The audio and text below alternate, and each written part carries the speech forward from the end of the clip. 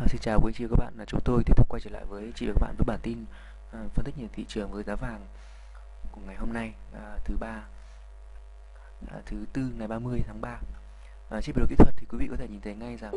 à, ngày hôm qua thì Zelen đã có bài phát biểu ám chỉ rằng từ giờ đến tháng 6 thì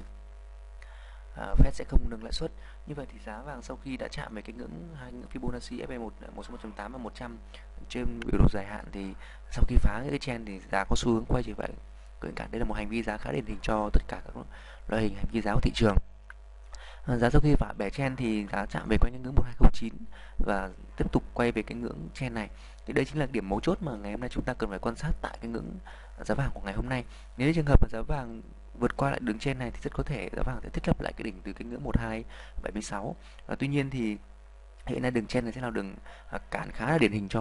một xu hướng vào chúng ta có thể để ý ngay bên cạnh đó thì với một à, mô hình vai đầu vai thì có thể giá vàng sẽ lấn dần lên cái ngưỡng 1247 1250 sau đó sẽ có một đà tiếp tục giảm giảm sâu về cái ngưỡng 127175 như vậy thì với hành vi tâm lý thị trường thì chúng ta có thể nhìn thấy ngay rằng giá vàng sau khi được tín hiệu Fed phát đi thì hiện nay giá vàng đã có sự hồi phục và test lại cái đường chen trên vùng phân tích kỹ thuật cũng như là à, điểm mấu chốt của tâm lý thị trường thì chúng ta sẽ bắt đầu bán một khối lượng nhỏ tại qua cái ngưỡng 12 42 à, đến 1240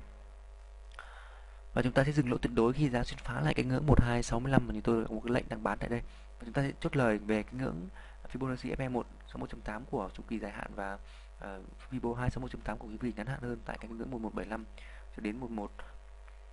76 ờ, tại cái chu kỳ vàng. Như vậy thì chúng ta có thể nhìn thấy ngay trên biểu đồ với giá vàng hiện tại thì đây sẽ là vào vùng bán cho sự lựa chọn cho những người bán dài hạn chúng ta cần phải chú ý rằng với giá vàng hiện tại chúng ta cắt lỗ tới khoảng tầm 15 giá. Thì chúng ta cần phải căn chỉnh khối lượng làm sao cho hợp lý với